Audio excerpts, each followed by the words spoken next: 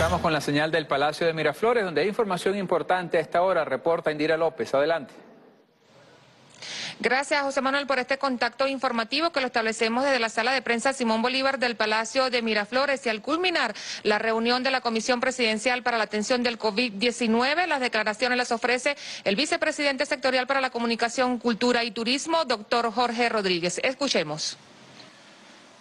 Muy buenas noches a todo el pueblo de Venezuela y una feliz cena para todas y para todos, para nuestras mujeres, nuestros hombres, nuestras abuelas nuestros abuelos, nuestras niñas y nuestros niños.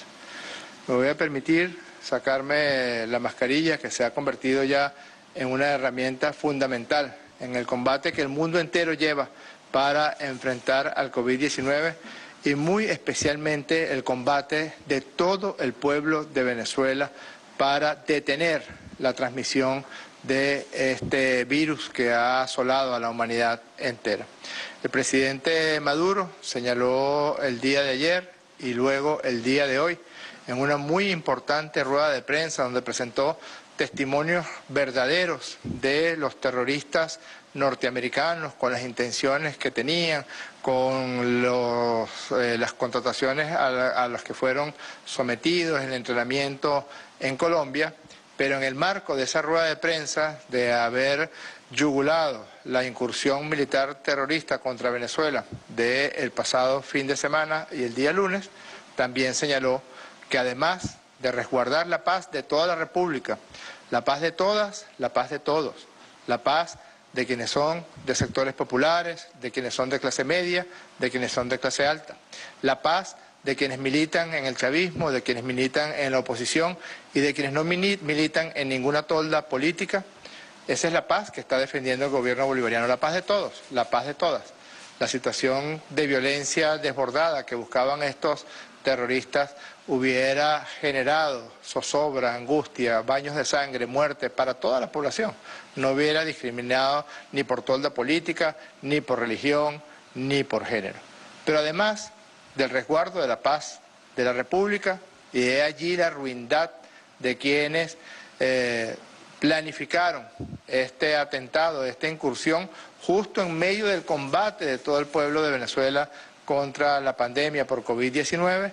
Además, nosotros no nos descuidamos en la misión principalísima de combatir, de detener la cadena de transmisión, de controlar la infección en la población por COVID-19.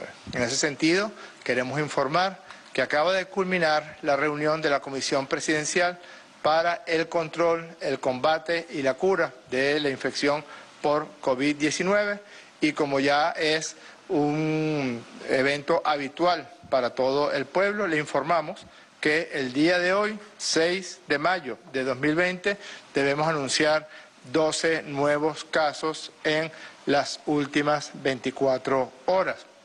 Ocho casos corresponden a eh, personas del sexo masculino, cuatro casos a personas del sexo femenino y tenemos seis casos del Estado de Nueva Esparta, ya vamos a hablar un poco más de esto, sigue vivo, sigue encendido el foco de la irresponsabilidad, el foco de la avaricia, el foco del incumplimiento de las normas en la Academia de Béisbol en el estado Nueva Esparta.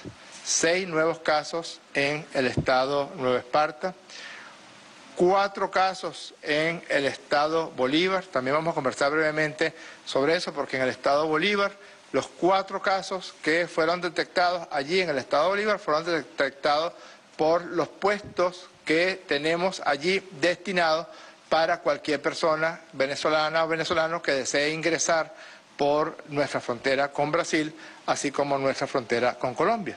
Estos cuatro casos, los cuatro provienen de Brasil y eh, haciéndose el protocolo que ya está establecido de eh, pruebas rápidas y PCR, se logró detectar la presencia de COVID-19 en estos cuatro compatriotas.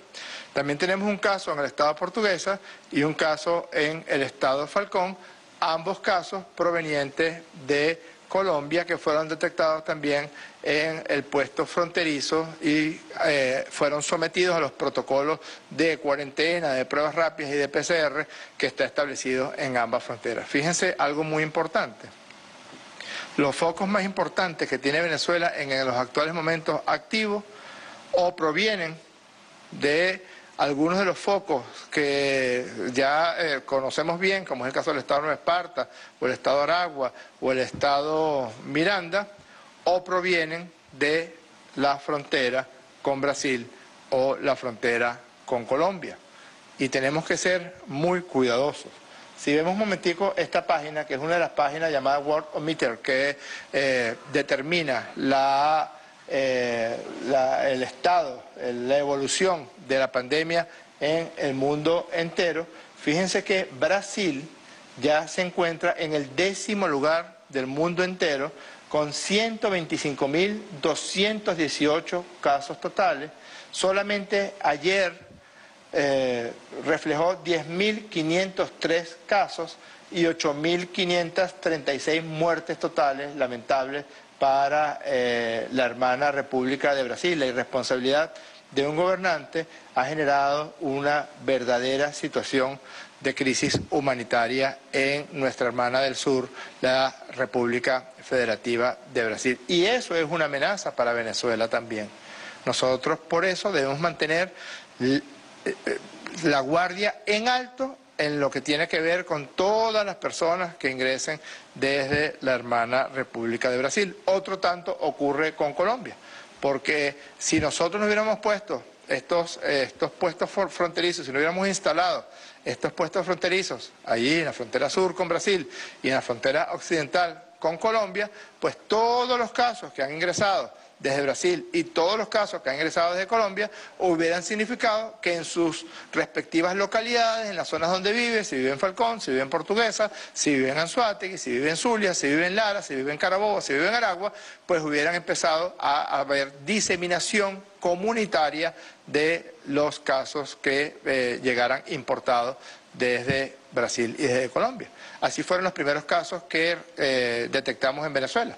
Eran personas que provenían de viajes en avión o de España, o de Italia, o de República Dominicana, o de Estados Unidos. En ese sentido, reportamos que de los casos, 1, 2, 3, 4, 5, 6 que provienen del Estado de Nueva Esparta, todos son producto del foco de la Academia de Béisbol. Una persona femenina de 18 años, familiar de uno de los militares, los guardias costeros que están allí en la zona de Pedro González, un masculino de 23 años, también militar del Comando de Guardia Costera, un masculino de 21 años, también militar del Comando de Guardia Costera, otro masculino de 35 años de edad del mismo Comando de la Guardia Costera. Y un masculino de 39 años también del Comando de la Guardia Costera. Y también un joven de 18 años de edad del comando de la Guardia Costera que también resultó positivo en el despistaje con prueba rápida y con PCR que se hizo peinando no solamente todo el pueblo, sino todo el estado Nueva Esparta. Todos están ingresados en hospitales Centinela, en el Hospital Militar o en CDI, y debo decir como una buena noticia que todos se encuentran asintomáticos, pero igual están recibiendo tratamiento según el protocolo ya establecido por la Comisión presidencial. Luego tenemos los casos provenientes de Brasil, son cuatro casos. Una niña de siete años de edad que vive en el municipio Simón Bolívar, en Barcelona, del estado Anzuategui, que ingresó por el plan fronterizo, ingresó por el estado Bolívar el día 2 de mayo, se le hizo, se mantuvo en cuarentena y en la cuarentena que, a la que se, eh, se le sometió allí en el estado Bolívar, en la frontera sur, se le hizo la PCR y dio positivo. Se encuentra hospitalizada en el hospital de Santa Elena de Guairén, está recibiendo tratamiento y está asintomática actualmente.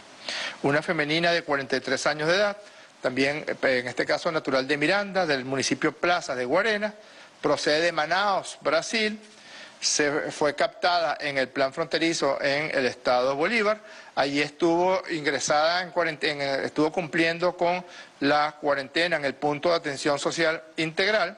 El día 6 de mayo se le hace la correspondiente PCR dando positivo, por lo cual es ingresada en el hospital de Santa Elena de Guairén y está recibiendo eh, tratamiento. Está actualmente asintomática y un elemento de cuidado es que presenta un embarazo de siete semanas de gestación. Tenemos también un masculino de 20 años de edad del estado Bolívar, del municipio Piar, de Upata, que viajó a Manaos, ingresó al país el 2 de mayo, fue trasladado al punto de atención social, Allí estuvo cumpliendo la cuarentena, se le realiza PCR el 6 de mayo y da positivo, por lo cual es ingresado en el hospital de Santa Elena de Guairén. Otro tanto, un masculino de 20 años de edad, del estado Bolívar también, del municipio Caroní, que proviene de Manaus, da positivo a la prueba de PCR el 6 de mayo y está ingresado en el Centro de Diagnóstico Integral de Santa Elena de Guairén. Luego tenemos los casos correspondientes al Estado Falcón y al Estado Portuguesa. El de Falcón es un masculino de 23 años de edad, del municipio Carirubana, de Punta Cardón, y es un obrero, un trabajador proveniente de Cúcuta, de Colombia. Ingresó el 26 de abril a Venezuela. Allí fue captado en el plan en el punto de atención social que tenemos allí. Se cumple, eh, se mantiene en cuarentena, se le hacen pruebas rápidas y en Falcón, después de que las pruebas rápidas dieron negativo, fue trasladado a Falcón y en Falcón también debió cumplir la cuarentena para terminar su aislamiento. Fíjense cómo es un, es un protocolo muy preciso, es un protocolo donde eh, es muy difícil que se escape un caso, porque se cumple la cuarentena en el sitio de ingreso, o es en Táchira, o es en Zulia, o es en, o es en el estado Bolívar, se le hacen pruebas rápidas, se le mantiene la cuarentena, pero después cuando es trasladado a su estado, a su lugar de procedencia, a su lugar de, de residencia, también debe guardar la cuarentena y también se le hacen allí pruebas rápidas y pruebas de PCR. Y resulta esta prueba de PCR positiva el día 6 de mayo. De inmediato es ingresado en el Centro de Diagnóstico Integral de Punto Fijo. Es un caso importado de Colombia. El caso del Estado portuguesa es una mujer femenina de 21 años de edad del municipio Ospino. Ella proviene de Bucaramanga, de Colombia y fue captada en el plan fronterizo en el estado Táchira, ingresó al país el 18 de abril, se traslada al, puesto del punto de atención social integral PASI para cumplir sus cuarentenas, se envía a Portuguesa junto a una hija de siete meses positiva a COVID-19 el 25 de abril. Ella, la madre, se, encontraba negativa, pero se hace positiva cuando es trasladada a su sitio de residencia en Ospino, en el estado portuguesa. Se le da CPCR y allí da positiva. Aun cuando está asintomática, fue ingresada en el hospital de Ospino y se le está cumpliendo el tratamiento según los protocolos de tratamiento establecidos. En resumen, 379 casos. Una buena noticia es que tenemos 176 pacientes recuperados al día de hoy, 46,4%, eso es una buena cifra respecto a las estadísticas mundiales. 98 pacientes están eh, hospitalizados en hospitales centinelas, 75 en centros de diagnóstico integral, 20 en clínicas privadas y lamentablemente tenemos 10 personas fallecidas. Es importante señalar que al día de hoy la tasa de letalidad, es decir, el número de pacientes fallecidos respecto al total de pacientes se encuentra en 2,64%. Es una tasa de letalidad que tiene Venezuela. Claro, cada persona que fallece es un dolor para sus familiares y es un dolor para todos nosotros.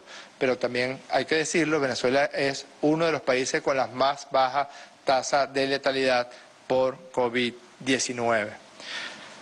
Les mencionaba un poco esto al comienzo, fíjense cómo está la distribución en los estados solamente el Estado de Nueva Esparta, con dos focos principales, el foco de Pedro González y el foco del municipio Maneiro, presenta un tercio del 32% del total de casos del país. 122 casos en el estado de Nueva Esparta, la mayor parte de ellos jóvenes y algunos prospectos verdaderos de, eh, del béisbol profesional que incluso han sido firmados por equipos de las grandes ligas. A eso puede llevar la irresponsabilidad y la avaricia de algunos.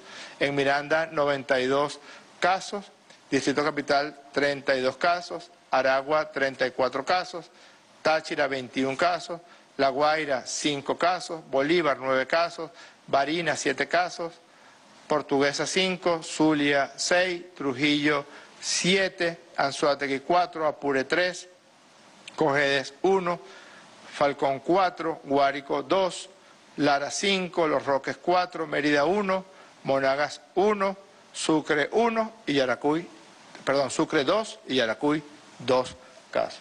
El esquema, la distribución por sexo es similar a la que ocurre en las estadísticas mundiales, mayoría del sexo masculino, 209 del sexo masculino, 170 del sexo femenino.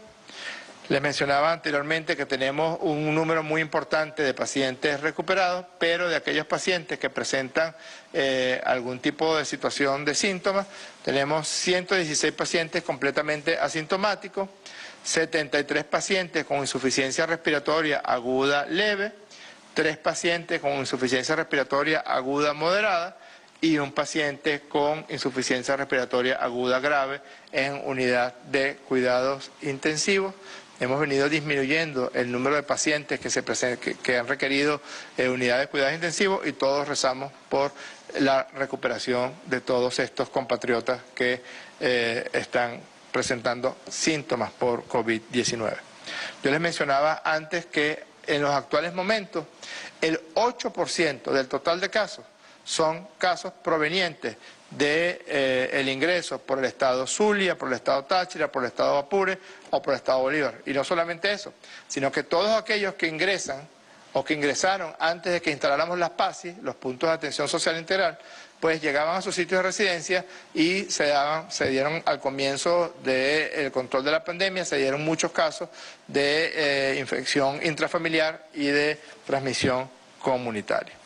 En cuanto a una de las que ha sido la herramienta fundamental, una de las herramientas fundamentales en el combate que Venezuela ha dado contra el COVID-19, reconocido por la Organización Mundial de la Salud y la Organización Panamericana de la Salud, está la encuesta del sistema Patria, de los 19.502.703 personas que están inscritos en el sistema Patria, 19.258.084 han contestado la encuesta y hemos visitado 200.252 personas.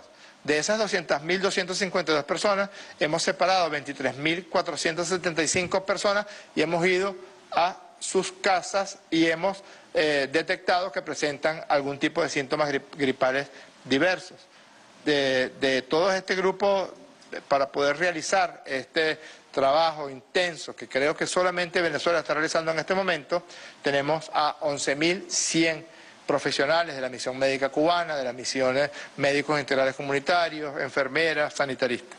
Venezuela ha hecho al día de hoy 495.730 pruebas diagnósticas, en que debemos ir un escalón más allá y masificar más aún en las siguientes etapas, en las etapas ya cuando estemos ya en control de la, de la vía de transmisión, no hemos logrado todavía el control de la vía de transmisión, hemos controlado la diseminación exponencial del virus, pero todavía no hemos roto las cadenas de transmisión. Para lograr romper las cadenas de transmisión se hace una herramienta fundamental el realizar exámenes masivos a la población de inmunoglobulina G, de inmunoglobulina M y también las llamadas pruebas diagnósticas moleculares con PCR. Hemos hecho 495.730 pruebas, eso representa 16.524 pruebas por millón de habitantes. Somos el país de América Latina y el Caribe que más pruebas para diagnóstico de COVID-19 hace en todo el continente americano en toda Latinoamérica, corrijo, y en el Caribe. Y hay un elemento fundamental y es que todas estas pruebas son absolutamente gratuitas a toda la población. Así que mantengámonos en esta cuarentena, que es una cuarentena voluntaria pero fundamental para el control de la diseminación del COVID-19 fundamental y muy importante el uso de la mascarilla. Ya es una, es una convención universal que el uso de la mascarilla realmente previene de la infección persona a persona por COVID-19. Mantengamos las normas de higiene, el lavado frecuente de manos con jabón. Nosotros mantenemos el proceso de desinfección en las zonas relacionadas con el espacio público y si no necesita salir, por favor, no salga de su casa. Muchísimas gracias. Actualizado el parte de la Comisión Presidencial para la Atención del COVID-19, 12 nueve casos para sumar 379 en todo el país y más de 495 mil pruebas rápidas se hacen en todo el territorio para ir en el despistaje masivo personalizado que ha ordenado el presidente de la República para proteger al pueblo de Venezuela. Con esta información vamos a devolver el pase al estudio. Adelante.